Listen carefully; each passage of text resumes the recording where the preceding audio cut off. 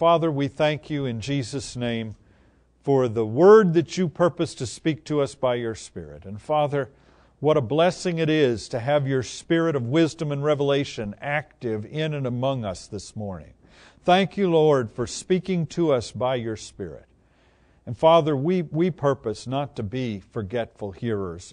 We don't want to be those who just simply have heard and found it interesting or entertaining, but we want to be those who receive the words that you speak to us as commands and purpose to be doers of that word. In Jesus' name, amen. In Psalm 1, I'm going to read these six verses of Psalm 1, beginning at verse 1, where it says, Blessed is the man that walketh not in the counsel of the ungodly, nor standeth in the way of sinners, nor sitteth in the seat of the scornful, but his delight is in the law of the Lord, and in his law doth he meditate day and night.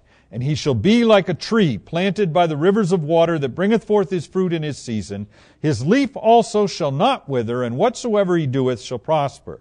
The ungodly are not so but are like the chaff which the wind driveth away. Therefore the ungodly shall, shall stand, excuse me, shall, therefore the ungodly shall not stand in the judgment, nor sinners in the congregation of the righteous. For the Lord knoweth the way of the righteous, and, but the way of the ungodly shall perish. Now this is uh, a great way for the book of Psalms to begin. It's a, it's a great door, an entrance into the Psalms. But uh, we started last week to, to entertain this, this thought of annual versus perennial. And uh, we were talking about the, the, the relationship of the two of them, right? It's, it's certainly this week. If, if you hadn't begun to think about spring by last week, you've started by this week, right? Certainly there's been stuff happening out here in the world around us to get our attention and make us start to think of spring. And whether that causes you to think of actual gardening, like you want to go do some, or whether it just causes you to think of how pleasant it is to look at other people's work when they've been gardening, we, uh, we begin to think of these things, right? Yes. We've had a, a bunch of daffodils on the dining room table this week. I'm not sure where they came from. Somebody brought them into the house who wasn't me. Yeah, I have a guess, but I'm. but uh, we got daffodils on, on the table. Well, you know that's that's that's just not fair when when it's cold outside. Put daffodils on the table, but it's got me thinking. I'm moving in that direction. I'm almost ready to move past daffodils and on to tulips. It's the moment is coming. Are you still here? But we start to think of these things. And the question, which uh, is a spiritual question, is are we going to be annual or perennial? Now, I defined these terms last week. Annual, when we're talking about plants, is, is a noun, the, a plant that lives for one growing season. It just does its thing continuously and then it's done. And that may not sound like a bad thing in a spiritual sense, except that what causes it to expire is not that it's run its course and finished its race, but that it's encountered some kind of hardship or difficulty. Perennials are those which persevere through those hardships and difficulties. Perennial as an adjective meaning lasting for an indefinitely long time, enduring, and when we're saying it of plants, it means having a life cycle lasting more than two years. A perennial plant, right? So, uh, we're talking about plants which persevere through the difficulties that come. Now, in the scriptures, the picture that we're given, particularly in the book of Psalms, but all through the scriptures, of uh, what is what we're going to compare to annual. Now, don't uh, the botanists in the group don't need to come and try to correct me later. I understand that not every plant we're going to mention is actually an annual or a, you know or a perennial. I mean, they're all one or the other, but they're not all the one in the category where yeah, I got it. But if we're going to understand annual as temporary and, and short lived and not resisting with great strength, then grass becomes the example that we encounter over and over and over again in the scripture as the, the metaphor for that which is short lived, which becomes dry, which is for the fire and for the cutting, right? And that, that's our, our, our annual. The perennial, the, the, the, the metaphor that we keep running across in the scriptures is the tree. The tree which perseveres season after season, growing tall and strong and doing its, its work, right? continuing to bring forth fruit. Now, where are we at? Oh, you're a couple of steps ahead of me. That's okay. Fear not. Are we now we're now we're back. Okay, so there's the tree. You got a tree? I need eyes in the back of my head. That would help here. Or maybe I need a 42 inch monitor right here. No. All right. So, but uh, the, the thing about the grass is that it's temporary. It's grass and it's temporary. And even if you dress it up, It can be attractive grass. It can be aggressive grass. It can, it can, it can seem like it's doing big things grass, but it's temporary. Its season comes and goes. It will brown and, and it'll be for the fire or for the cutting, right? But when adversity comes, when hardship comes, if we got, yeah, that's adversity, right? Where plants are concerned, that's adversity. In, in, your life, in my life, adversity looks a little different than that sometimes. But for a plant, that's adversity right there. When adversity comes, the things which are temporary end. But the things which are built to last stay. And we are built to last.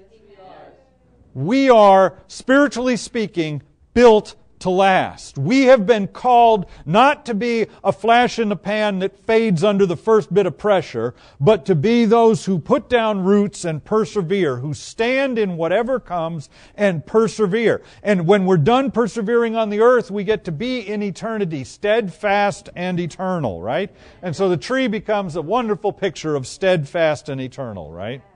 The planting of the Lord. And let's scoot ahead to my last one. Bingo. Here we have multi generational worship.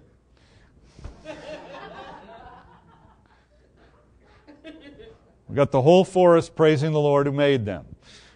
Right? And they're there together because that, that represents to me the fruitfulness of a tree throughout its existence. You see, a tree continues to produce, and even a rather tired tree will continue to produce. Um, I spent a part of my life living in what was sort of a retired apple orchard. It had been an orchard on a farm, and then the orchard quit being used as an orchard, and they started to build houses in it, but many of the apple trees remained. And these were intensely old apple trees and uh, much older than what you typically see in any orchard. Great big trunks, and in uh, many cases in poor condition. They'd not been maintained like an orchard would be, and, and uh, they, they were uh, very hollow, many of them, and uh, full of really good potting soil. It was this rotten, nasty stuff living inside of them, and all of this. But they continued. The, the apples, the blooms, were always there because even even a tree which is having a tough life is continuing to bear its fruit. Not in every season, but we keep coming back around to fruit season. And you may have seasons where you've got to draw in a little bit in order to survive, but you will come back around to fruit bearing season. Your fruit bearing is not behind you. Because when you're perennial, you just keep coming and keep bringing the fruit. Amen? All right, so in, uh, in Psalm chapter 1, he says, Blessed is the man that walketh. Now we're talking about somebody who's blessed, a blessed person. And actually, in a peculiar turn of events, the word blessed or blessing or however you would prefer to translate it sometimes comes across as praises or praiseworthy. It's plural. What is it doing plural? I don't know what it's doing plural, but that's pointing. Uh, Hebrew scholars tend to tell us that it has something to do with the, the, the, the fruitfulness of this individual, that there is praises, blessings on this person. When we make these choices, it does something good for us. Amen. When we make these choices, it does something good for us. Now, um, I want to deal with the, the ungodly first. At verse 4, he says, The ungodly are not so. Not so how? Well, as we just described, the godly in these first three verses, perhaps you remember from a few moments ago when we were reading them, that's a pretty good description. Would you, would you like to be? Does Psalm 1, 1 through 3 sound like what you would like to say about yourself? That wouldn't be a bad epitaph to have, would it? That this is a description of you, the life that you've lived. You walked not in the counsel of the ungodly. You didn't stand in the way of sinners. You didn't sit in the seat of the scornful. Your delight was in the law of the Lord. And, and in his law you meditated day and night. You were like a tree planted by rivers of water, bringing forth your fruit in your season. Your leaf didn't wither, and whatever you did prospered. That'd be a wonderful thing to have said about you at the end of this, wouldn't it? But the ungodly are not so. They're not like that. They're different. They have a difference. They are like the chaff which the wind driveth away. Now, the chaff is, is a picture in, in grain crops that we harvest. We're told there's three main portions. There's the kernel, which is the part we want, that we eat, that we make something out of. There's the straw, which has a number of uses, and then there's the chaff, which is the husk, which is the lightweight part, and it serves no useful purpose to us and blows away very easily. And uh, it's interesting what some of the rabbinical scholars have to say about the ungodly and blowing away. But we, we're saying here, the ungodly are like the lightweight, useless portion of humanity, which are easily moved by changes, easily moved by the wind. In fact, some of you perhaps have seen the type of, of threshing that is done even today in many parts of the world where they don't have the kind of machinery and equipment that does it that we do. But uh, where you, you take the grain, you put it out on a hard surface, they run animals or wheels over it to try to break it up and separate it, and then you toss it with a fork. And the reason that a threshing floor, you know, you might think of a threshing floor as uh, to me, a threshing floor always sounded like kind of a down in kind of place. But it's actually an up out kind of place because you want it where the wind blows freely through it, which is why the Temple Mount in Jerusalem was originally a threshing floor. I think that's a strange combination, but that when you want the wind to be blowing, you want to be on the hill and on top of the hill. So we take our fork and we, we toss all of this in the air, and the wind comes through and blows away the useless part. And what keeps falling is the part that we want.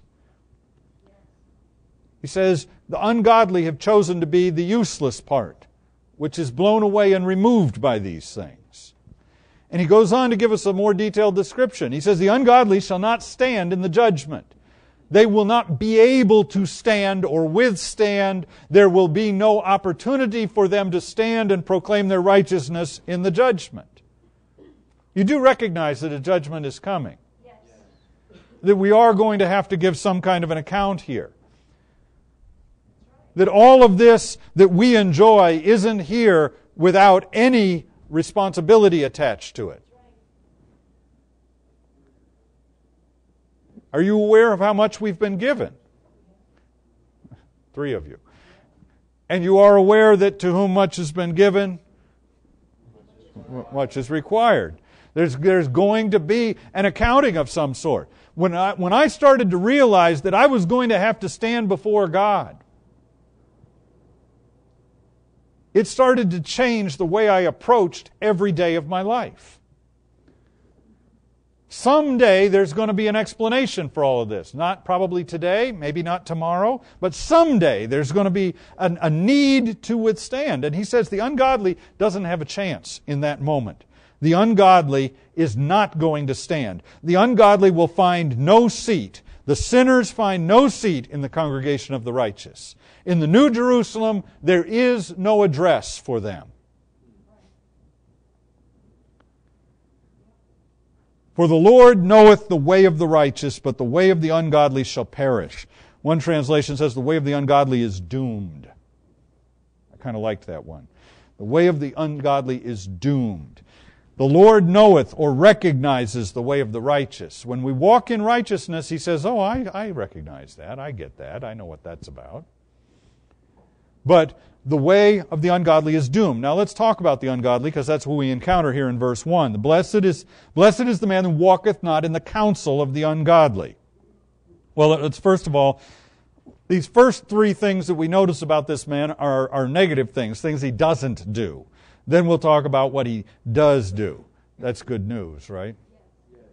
But what he doesn't do. And it, it's an interesting thing. Concerning this, Matthew Henry says, The Lord knows that are, those that are his by name, but we must know them by their character. Let me give you that again. The Lord knows those that are his by name, but we must know them by their character. The character of a good man is here given by the rules he chooses to walk by. The character of a good man is here given by the rules he chooses to walk by. We understand, we recognize this blessed person's character by the rules they choose to walk by, right? And we start out not standing in the counsel of, or walking in the counsel of the ungodly. Now, the ungodly here, the Hebrew word is rasha, and it at its root means wrong. The wrong the ones who don't get it right. Are you, are you here? Generally meaning wicked, ungodly, or guilty. It also has in it the notion of unsettled or tumultuous, like the seas being tossed to and fro. This is an individual who is wrong, wrong in their approach, wrong in their thinking, wrong in their choices. It is an individual who is, because of that, full of turmoil, unsteady and unstable. And we make the statement he, the blessed person, is not going to walk in the counsel, the wisdom, if you will, that is thrown off by those who are wrong, those who are unstable. We got to be able to identify this. We've got to be able to identify those who, who match that description. I'll give you one more Matthew Henry, and then I'm done with Matthew Henry for a while. But Matthew Henry on this. The word which we translate ungodly signifies such as are unsettled, aim at no certain end, and walk, to no, walk by no certain rule, but are at the command of every lust and at the beck of every temptation. These the good man sees with a bad heart. He does not with a sad heart. Wait, let's see if I can get my tongue in order here. He sees with a sad heart, he does not do as they do. He does not take his measures from their principles, nor act according to the advice which they give and take. Are you aware that there are a large group of folks around us who are wrong? I didn't say everybody's wrong, but there's a, a seemingly growing number of people out there who are wrong. And the more that wrong gets said, the more it sounds kind of right. About roughly 30 years ago, I heard a preacher say concerning the statement that the blind lead the blind and they all end up in the ditch. He said, Today we have so many of the blind leading the blind, they all end up in the ditch, and the ditches are so crowded, people think that's where it's at. And that saying marked me then, and many of you have heard me repeat it since then. But 30 years ago, I heard that man say that. I think it's perhaps more true today than it was then. But if we're going to be this blessed individual, if we're going to walk in these, in this, in this light of this favor, if we're going to enjoy this favored position with God, we're going to do it by choosing life, which means not accepting the counsel, which includes the reasonings and rationalizations of the ungodly, those who have set aside the fear of the Lord. Then he says he doesn't stand in the way of sinners. The word that we're translating sinner is uh, in the Hebrew chata, which comes from, it can mean a, an offender in the sense of a criminal or a sinner, and it's, at its root it means to miss. We've come wide of the mark here. And so he doesn't take advice from those that are wrong, and he doesn't stand or put himself in the place of those who miss. These are conscious choices. This isn't a lucky person. This isn't somebody who just happens to have got it right. This is somebody who is aware of what's going on around them and is consciously choosing these things. If we're going to stand like trees, if we're going to grow through seasons of difficulty and through seasons of, of abundance, if we're going to grow and be strong, if we're going to bring forth fruit and perform the function that we have been called into the kingdom for, we are going to have to be people who choose to avoid the counsel of the ungodly and who choose not to stand in the way of sinners. There's a way which folks do things which is not the way I do things. There is counsel which is common in the world, which is not the counsel I receive. if we're going to be this blessed individual, we're going to have to make some of these choices. You say, that sounds hard. People will laugh at me. That's true. You make these choices and some people will laugh at you. But you know, if you turn over a few pages to the book of Proverbs, you discover that wisdom says wisdom will laugh at you too. And if you got to pick who you want laughing at you, I'd rather have people laughing at me than wisdom laughing at me. Boy, it get quiet over there. Let's try this side for a while. if you got to pick whether people are going to laugh at you or wisdom is going to laugh at you, I'm with let's have wisdom on my side and people laughing at me. It, it hurts my feelings when people laugh at me, but I know I can survive that. Experience has taught me that I can outlive people laughing at me. Wisdom starts laughing at you, and that road ends soon.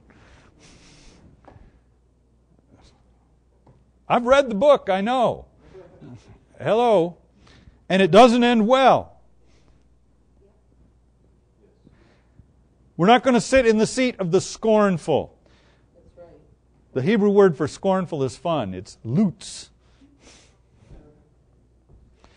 And it literally means to make mouths at. Hence, to scoff. It's just. and we're looking at something of a progression here. The ungodly are described by rabbinical teachers as those who have cast off the fear of God. They've put aside the awe of God. A bad choice, but it's not as bad as what it will lead to.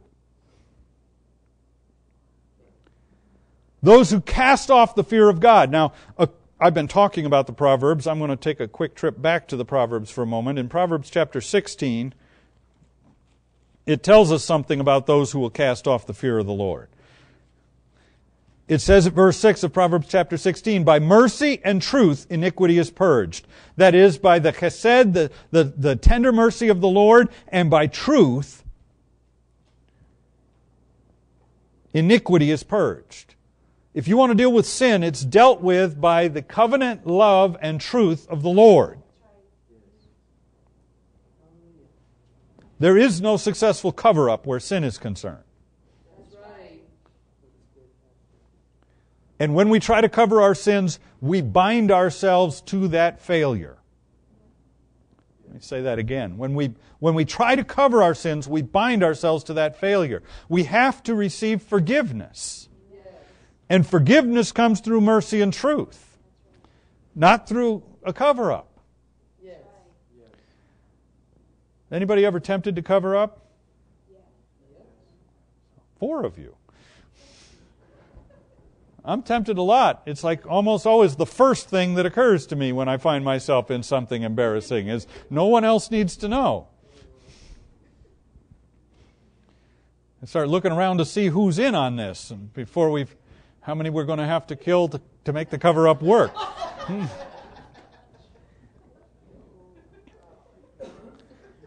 Hello. But covering doesn't succeed. Have you read the stories of the people in here, the ones who try to cover? Does it work for them? Does everything get hidden and never come back to bother them? No, it doesn't work that way. It doesn't work that way in the earth. By mercy and truth, iniquity is purged, but by the fear of the Lord, men depart from evil. Our departing from evil is connected to the awe of God. To the extent that we have the awe of God, we find ourselves turned from evil. And if we turn toward evil, it's only because we've lost our awe for God. And it isn't because He's less awesome. It isn't because He's less awesome. When I lose my awe for God, it isn't time for Him to do something wonderful.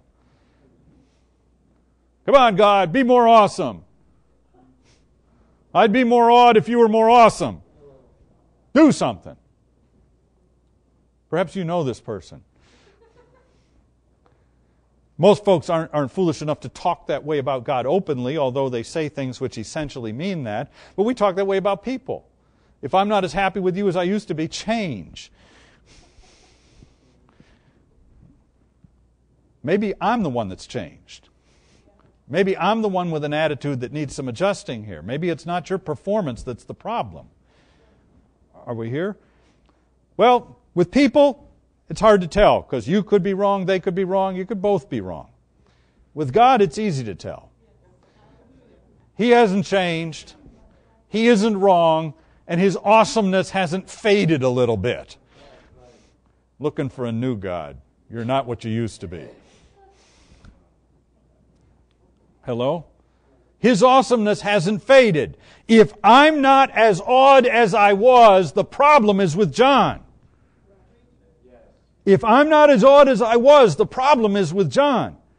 And if the problem is with John, and the fear of the Lord is what causes me to depart from evil, one of the symptoms I'm going to notice is that John doesn't seem to be repelled by evil. John seems to be okay with evil, a little bit of evil. Oh, it's not really evil. And the more okay John is, the lower his awe has gone. Because you can't stand in awe of God. You can't see what we're talking about when we're talking about God and still harbor a soft spot for evil. But I do so enjoy. Are you still here? Now, in, we're talking about the fear, the awe of God. Back in chapter 8, of Proverbs here, he, uh, he says to us at verse 13, the fear of the Lord is to hate evil. Pride, arrogancy, and the evil way and the froward mouth do I hate. The fear of the Lord is to hate evil. One of the ways our awe for God shows up is in hatred for evil. It doesn't just help us to depart from it, from evil, it causes us to hate evil. I say, I don't know if I've ever hated evil. Well, it's time to see God big. It's, it's time to understand who we're talking about here. This is God. You can con me, but you can't con God. You don't fool with God. You don't play those games. This is God we're talking about. And the fear of the Lord is to depart from evil, to, is to hate evil. Are you still here? And chapter 9, just a couple more of these. In, in chapter 9, he says to us at verse 10 The fear of the Lord is the beginning of wisdom and the knowledge of the holy is understanding. The beginning place of wisdom. Does anybody want to be wise? Yes. Got a bunch of wise guys here? I want to be wise. I'm unashamed to admit I want to be wise. It's not like a wouldn't it be nice if. There's a lot of wouldn't it be nice ifs in my life, but I want to be wise. I'm willing to do something about wise. Are you still here? Wise matters. And the beginning place of wisdom is the awe of God. If we have no awe of God, then no matter what else we know, no matter what else we learn, we're still fools. No matter what kind of information we gather, no matter what kind of counsel we receive, we're fools if we don't have the awe of God. The fear of the Lord is the beginning place and the principal thing of wisdom. And we find a similar statement here in Proverbs chapter 1, where it says to us at verse 7 The fear of the Lord is the beginning of knowledge, but fools despise wisdom and instruction. So, I'm going back to Psalm 1. He starts out by not walking in the counsel of the ungodly.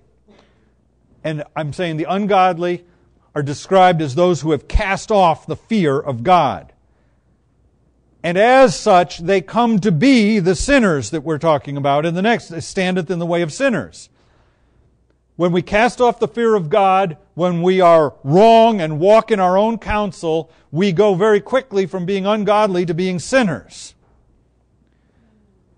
And that's described as breaking out in open rebellion against God. What were omissions become commissions.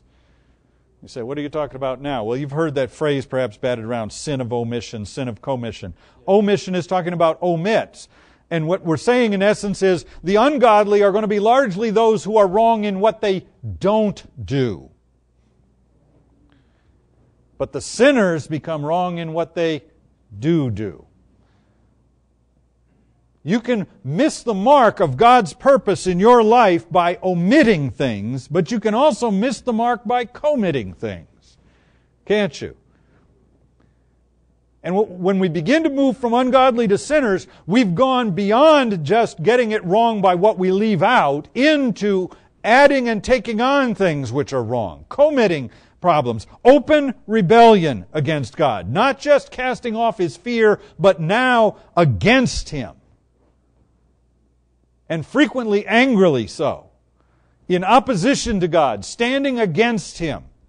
Now, do you begin to see why it would be harmful to this person who wants to be blessed, to this person who's trying to grow and be a strong perennial, a tree in the house of God, the planting of the Lord? Why it would be harmful to let the counsel and the way of these sort of people be around you all the time, be in you, and be where you're found. Now, you'll notice he doesn't say that this man is ungodly or a sinner, but he could walk in the counsel of the ungodly. He could stand in the way of the sinner. And when he does, He's, it's difficult to distinguish him from them. Are we still on this? And then, if we go from casting off the fear of God to breaking out in open rebellion against God, what's going to be the next stage? Our hearts become hardened until we're scorners who openly defy all that is sacred, scoff at religion, and make a jest of sin.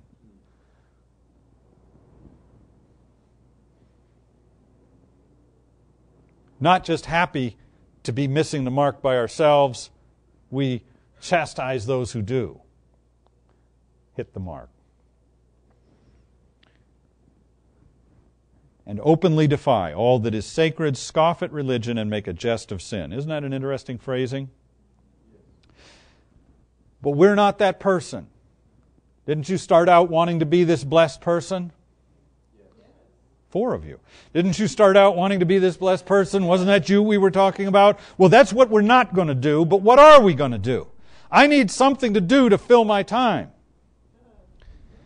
I have discovered in life it's much easier to know what to do than to know what not to do. Or I shouldn't say to know, because how easy it is to know is. But the point is, it's, it's easier to get things done by deciding to do something than by deciding, deciding what not to do.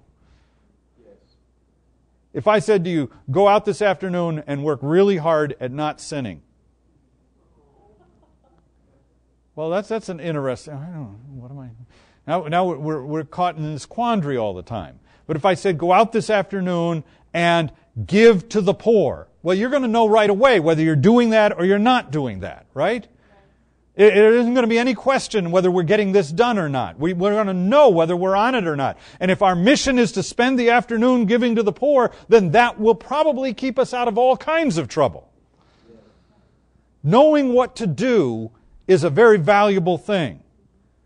Because one of the problems that we all have when we're trying not to do something is figuring out how to quit thinking about it. And everybody who was on a diet said, Amen. what we need to do is figure out how to quit thinking about it. And in my world, the thing which has been most helpful in quitting thinking about whatever it is I'm trying to stand apart from is get busy with something. Do something. Find something of value, something of eternal value, something which is actually productive, something which is good and praiseworthy, and throw yourself into it. You'd be surprised how little time you have for nonsense when you're busy doing something worthwhile. And if you find yourself plagued with thoughts of nonsense all the time and temptation to turn to foolishness, you probably aren't occupied with something worthwhile. You get a hold of a heavenly calling and chase it with everything in you, and you don't have a lot of time for foolishness. So we need to know what is this blessed person doing? And verse 2 tells us, his delight is in the law of the Lord. This is a person who is excited about God's word, not a person who dutifully reads a few verses before they doze off. Not a person who dutifully reads a few verses before they doze off,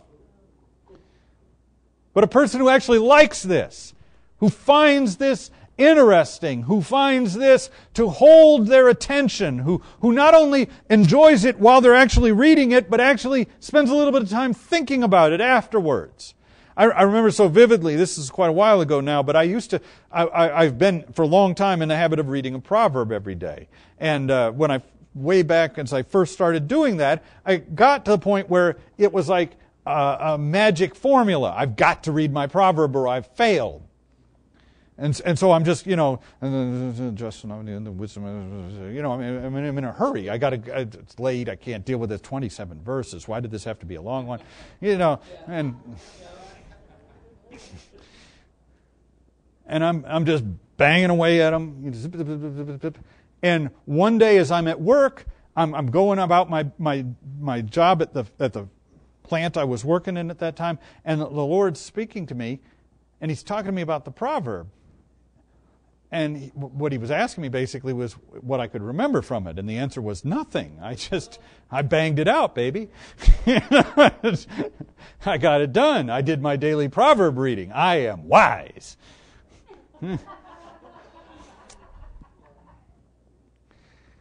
And he's like, and, and uh, what do you remember from that? It's like, I don't remember anything. Why would I remember anything? I wasn't reading it to remember it or think about it. I have other stuff to do. Are you here? That wasn't the point. Reading a proverb every day isn't so that I can see if I can get it done in three minutes flat.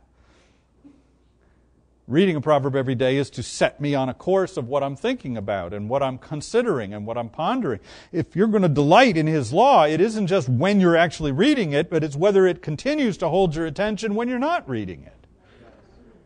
As you continue to consider it as you work over and over and over again in your heart and your mind what it is that he's saying to you about that, why that particular word or phrase has, has seemed to stick out this morning, this evening, this afternoon, why the Spirit seems to be on that one. What is it about that word that has my attention today? What are you trying to say to me, Lord? I don't think that sounds like me, but, but do you think that sounds like me? Are you trying to tell me that I'm more like this person than I think I am? Are you warning me about some situation to come and some preparation I need to make for it? What are you talking to me about here? We need to be that person whose delight is in the law of the Lord, who are actually motivated to, to pay attention to what He is saying and to throw ourselves into it. Is that an amen moment? In His law doth He meditate day and night. That's all the time, isn't it? And meditate, as you're going to be aware, is uh, it, we're not talking about, you know, find some awkward posture and, and sit there acting strange. We're, we're talking about we're talking about continue to ponder, mull it over. Actually, the word is connected to the word for murmuring. It, it's, it's like muttering, not murmuring against, but just muttering. When, when you're saying things softly to yourself. Now, I don't know that it's absolutely mandatory that you actually be making noise when you're doing this. You might be in a situation where that would be a, a, an ill advised thing to do. But it's that where, where a thought is so real to you that you're almost talking out loud to yourself about it, is what we're talking about. Where you are considering something in the light of the Spirit's counsel as you roll it over and over and over and say, What have I missed about this? What have I not understood about this? What is this trying to tell me? And then we enter, encounter this description He shall be like a tree planted by the rivers of waters. The, uh, the Hebrew here for rivers is talking about split, and it's actually some translations call it streams or rivulets. We're talking about water which is branching and becoming thorough actually one translation calls it reservoirs of water. We're talking about an abundant water supply. We're not talking about a tree which is hanging out of a riverbank threatening to fall in. We're talking about a tree which is in nice, wet area where there's plenty of water to keep it going. Right? Rivers of water, bringeth forth his fruit in his season. You know, one of the most important things in life is that we bring forth fruit. Not just pass the time and be here, but bring forth fruit. There's a reason for being here. There's something we're supposed to be doing, something we're supposed to be occupying ourselves with, some kind of fruit we're supposed to carry off. You say, we came into this world with nothing, we'll leave this world with nothing. Well, in the sense of material stuff, you can't carry material stuff off with you, but the scripture is quite the opposite. We're supposed to be laying up treasures in heaven we can take the, the wood, hay, and the stubble is going to burn, but the gold and the silver and the precious stones travel with me. Right. Now, not gold and silver and precious stones in your jewelry box, but gold and silver and precious stones in the, in the spiritual sense in 1 Corinthians 3. You understand that there are things. The fruit is what we carry with us. Take some loot when you go. Have fruit. Have fruit which remains. Have fruit which has value. Amen? And this individual, when we make these choices, when we are this person, we not only have an abundant supply of water to keep us going, but we get to bring forth fruit. We become the fruitful individual. Sometimes the fruit is choked by all the counsel of the ungodly and the way of the sinners that we're standing in. Sometimes it's difficult to bear fruit when you're putting up with all this nonsense in your world. Sometimes we need to distance ourselves from some of this stuff in order to be able to bear fruit. His leaf also shall not wither, and whatsoever he doeth shall prosper. Now that's the description. That's do you want things you set your hand to to prosper? Yes. You want to be successful in the things God's given you to do? Yes. It's less enthusiasm. We're working our way down here. He says this is how it's done. And the conclusion at verse 6 again is the Lord knows or recognizes the way of the righteous, but the way of the ungodly shall perish. Let me read to you Psalm 1 from the Amplified Version of the Bible. He says, Blessed, happy, fortunate, prosperous, and enviable is the man who walks and lives not in the counsel of the ungodly, following their advice, their plans, and purposes, nor stands submissive and inactive in the path where sinners walk nor sits down to relax and rest where the scornful and the mockers gather. But his delight and desire are in the law of the Lord. And in his law, the precepts, the instructions, the teachings of God, he habitually meditates, ponders, and studies by day and by night. And he shall be like a tree firmly planted and tended by the streams of water, ready to bring forth its fruit in its season. Its leaf also shall not fade or wither, and everything he does shall prosper and come to maturity. I like that phrasing particularly, and come to maturity. The things that we engage in come to maturity. Not so the wicked. Those disobedient and living without God are not so, but they are like the chaff, worthless, dead, without substance which the wind drives away. Therefore, the wicked, those disobedient and living without God, shall not stand justified in the judgment, nor sinners in the congregation of the righteous, those who are upright and in right standing with God. For the Lord